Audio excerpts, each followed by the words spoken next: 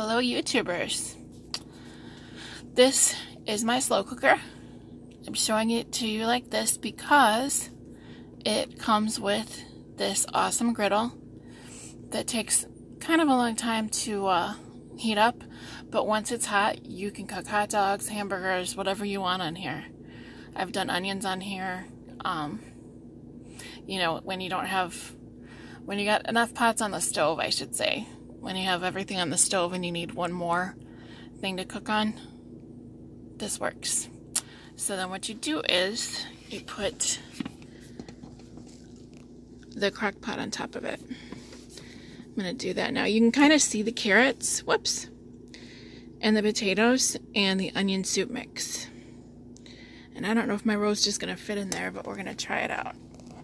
So what you do is you put crock pot part on top of the heater part. You can see where I spilled some onion soup, whoops.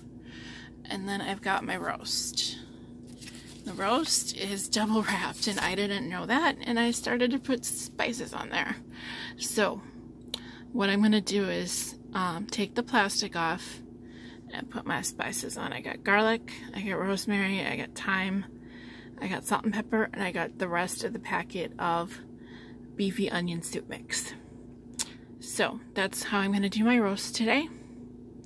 And it's going to be in the crock pot at about a three or four for about six hours. And then we're going to eat.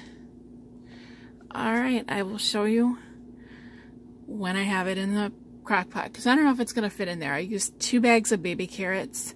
I used two bags of Klondike Rose potatoes, I think and I quartered those up.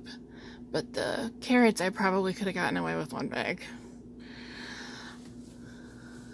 You can barely see them, but that's like a good three inches of carrot. All right. Ciao, babies.